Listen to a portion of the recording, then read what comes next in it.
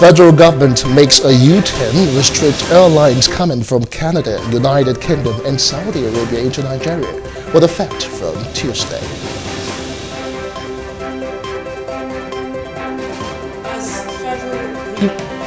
As federal reviews implementation of MOU ASUU to decide on strike by Wednesday. Pressure mounts as President Muhammad Buhari reportedly returns Electoral Act Amendment Bill.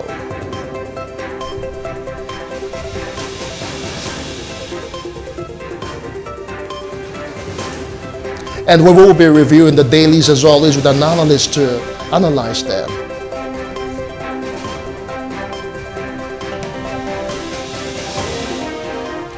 Welcome to The Breakfast and Plus TV Africa. I am Justin. And I am Mercy Bopo. It's good to be back on your screen this Monday morning. Yeah, we trust you had yourselves uh, arrested uh, weekend. Uh, we'll begin as always uh, with uh, top trending, uh, basically, which is uh, you know issues and um, stories that are just making the round across various you know social media platforms, and of course making topical you know conversations um, around the world. And um, one of the issues that actually caught my attention over the weekend is the COVID-19, and uh, from what we hear, you know, there are talks about uh, expired uh, COVID-19 in Nigeria. You know, the federal government has actually come out to say that most, uh, some of the donated uh, uh, vaccines under the COVAX program, you know, actually had, you know, shorter shelf uh, lives. It's as though uh, the COVID-19 uh, vaccines that were sent to us, you know, under the COVAX, uh, you know, program were almost like dumped on us. What's, what's your reaction, really? Well, you know that, uh, first of all, third world countries, we still have Nigeria, part of it, African as a continent, as, you know, dumping ground for anything by the Western world. So I'm not surprised. We also need to understand the fact that we are not uh, producers of this vaccine. So anything can actually happen. The fact that we're depending, we're dependent, highly dependent on, you know, the powerful countries reaching mighty countries to produce this vaccine and then send it to us, the handouts. So uh, you can actually expect that uh, you would also have, there's the tendency to have vaccines being sent because at the end of the day, we have constantly complained about not having enough vaccine. And we had an expert, you know, uh, the Commissioner for Health, who actually put us through the entire saying that right now we do not have enough vaccines. We're looking at what's the population of the entire you know country, over 211 million persons, and how many, uh, how much of the vaccines do we have available? So yes, that's on one hand, because if you remember, these countries would probably have to produce enough for themselves. And when they produce, they would have to send to the, the countries that they probably would categorize as A-list countries before thinking about others. And Nigeria, Africa would come as others. So yes, there's a tendency that that would come through. Now, do you also remember that when we had the first dose that came in March, we didn't have all of this uh, vaccine going to expire. You also want to look at the issue of the bureaucracy, uh, the entire process before it's been shipped in all of this actually works with time. So the time of, you know, filing and documentation and having it been shipped into Nigeria and arriving is also another factor. So yes, um, there are a lot of issues surrounding the fact that we have about 1 million or thereabout or over 1 million doses of expired vaccine in Nigeria, which is an entire waste, if you ask me, because we have actually wasted money. Uh, if I mean, and if and if we were saying that it was just really charity that they donated that to us, we didn't have to pay from, you know, the coffers of the Federation account. So on the other hand, so you look at the entire process and procedure of trying to get the vaccine down to Nigeria, that's on the one hand. And also look at, uh, on the other hand, the fact that Africa as a continent and Nigeria is a has always been a dumping ground. So yes, that's also on the other hand. And you also want to look at another factor. Now, you know that vaccine um, hesitancy or COVID-19 misinformation is such a huge deal.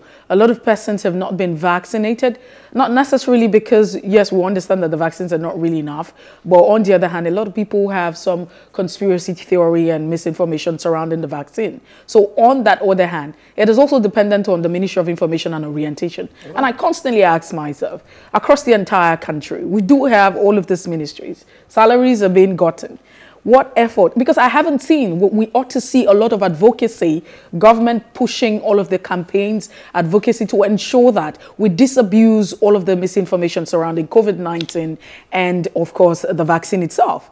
So right. we, we haven't really done so much. No, we haven't. And the issues uh, for me right now, you know, it is really alarming that we're talking about uh, not less than 1 million um, doses of COVID-19 vaccine in a time when the federal government is also uh, talking about giving some people, you know, booster shots. So then again, I'm saying, I'm thinking that I'm sorry, we don't Alex. have enough vaccines to go around for some people who have not even gotten the first doses, you know, and uh, even second dose. So next thing you're thinking of a booster shot.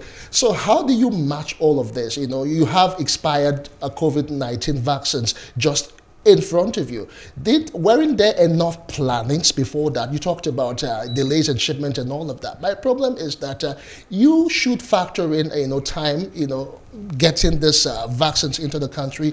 You know check the the shelf life of the vaccine. I know exactly how to go about it. And then again, you are actually you know saying that. Uh, uh, civil servants who have not been vaccinated, you know, should not be allowed entry into workplaces. I just don't get how it works when you don't, you've not made enough provision to ensure that uh, the average Nigerian gets vaccinated. On top of that, you have issues of um, COVID-19, you know, uh, I mean, vac uh, vaccines that are almost expired. Why would you think some people will not even want to get vaccinated when they hear all of all, all of these issues of uh, uh the vaccines that we have in the country? They expired. Uh, don't you think I might get affected? I might get one form of disease? Some people are not even well educated concerning all of this. So, so, so, now so, we have this on our table. So you know that you know. Uh, on the other hand, I mean, generally we have a big issue of trust. Mm. There's trust deficit. I guess. And that's why every time you have um, government coming out with policies, government making statement and what have you, uh, people take it with a pinch of salt. They do. Now, I'm thinking that since we actually had the outbreak of this virus, uh, that's COVID-19, we probably would have been on top of our toes. Serious advocacy. I'm saying serious one. Because for every time you have a misinformation, you will need a very strong information to counter your existing it's a, it's a thought pattern. So you probably need to push something out to change the narrative. And so you know that what people constantly hear uh, what you constantly listen to, what you constantly hear over time would form a belief system. Mm-hmm. So we need to find a way to change, and that's solely on government. Yes, I'm not going to say as much as I would give, you know, government the, the, the bulk of the game. And that's why you have the Ministry of Information and Orientation. And I, I constantly ask myself, how much of this advocacy have we carried out? Not necessarily, you know, uh, we, we would also say, yes, the urban centers and the rural community. We haven't done enough.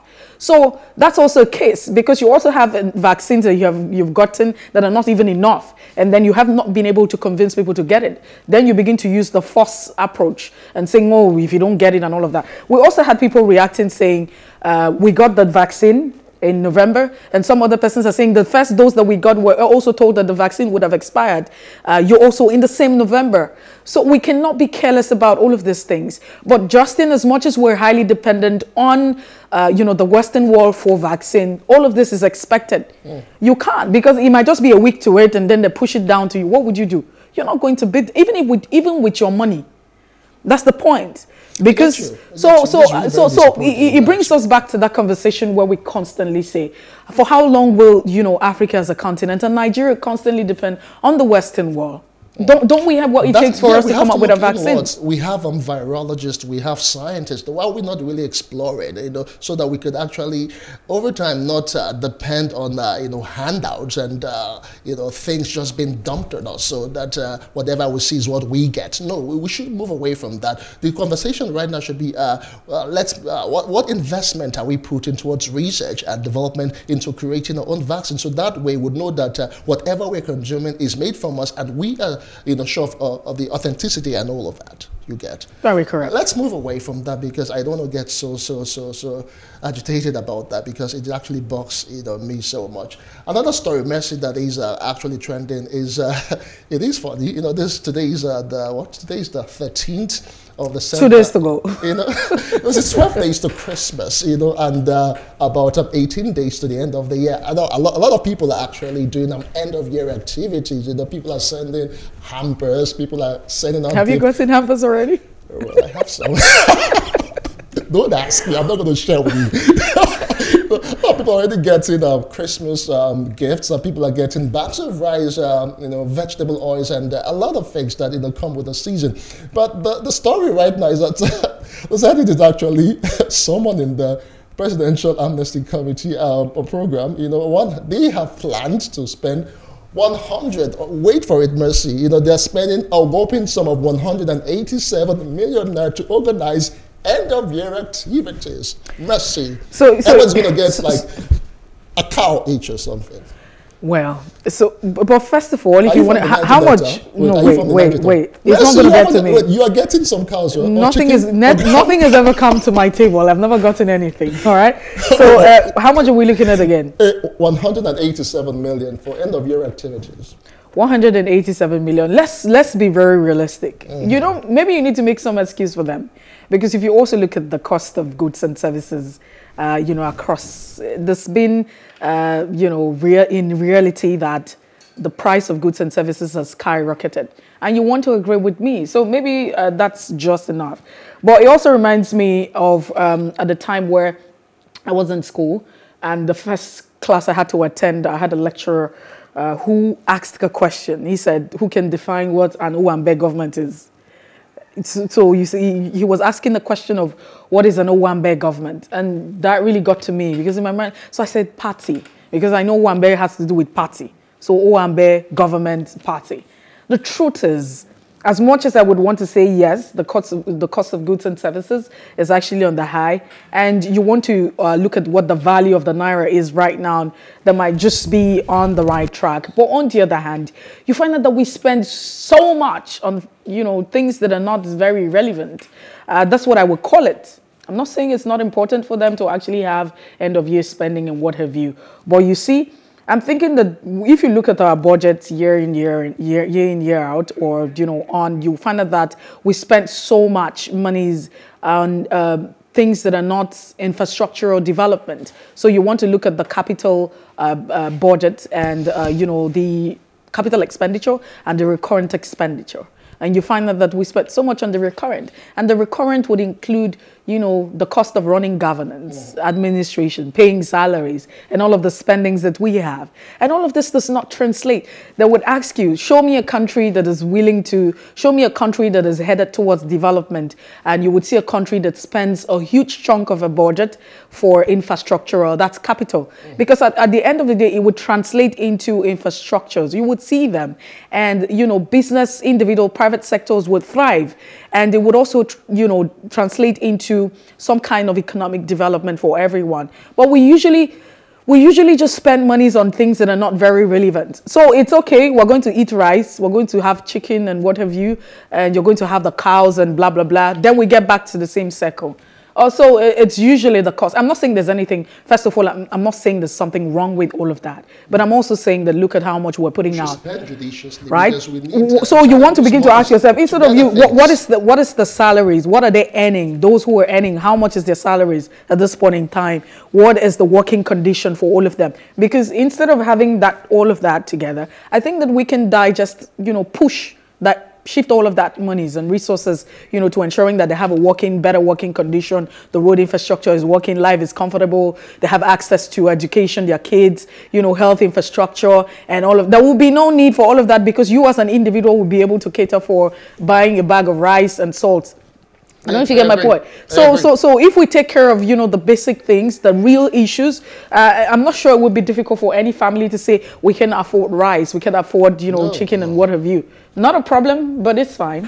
All right, fine. 187 million will be actually following that story, and we'll also bring you details, you know, of how uh, the money is going to be expended, uh, maybe on um, rice, chicken, or free hammers. But then we'll let you know as it progresses. Uh, finally, Mercy, uh, we spoke about this uh, sometime last weekend that it is coming up again. ASUU is still decide, you know, their fate or what they would do if we're looking for, uh, you know, at another strike come Wednesday. That's December 15th. You know, last week uh, the uh, the ultimatum they gave to the federal government indeed expired, and uh, they said they were going to come up with their position. So right now they said they will be decided by December 15. And Mercy does not really look good from all that we have seen, from what we know, from the body language, and from several MOUs uh, being signed. Most times. Uh, these agreements are not actually, you know, met. And it's okay to embark on another strike. We will continue in this cycle. We'll oh, constantly go in cycle forever.